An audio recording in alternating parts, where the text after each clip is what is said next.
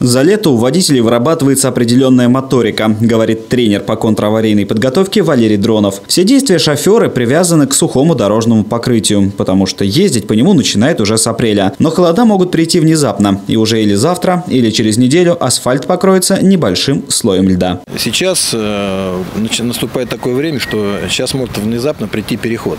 То есть э, мороз может прийти ну, через два дня, через неделю.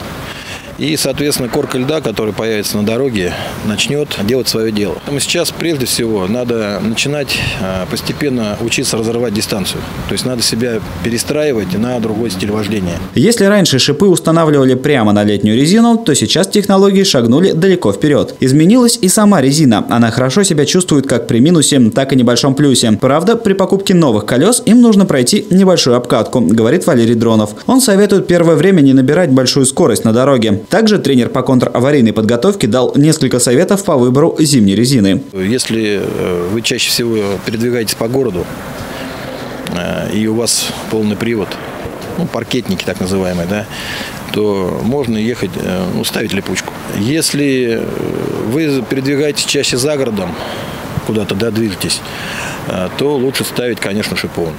Потому что где больше соприкосновений со льдом, у вас.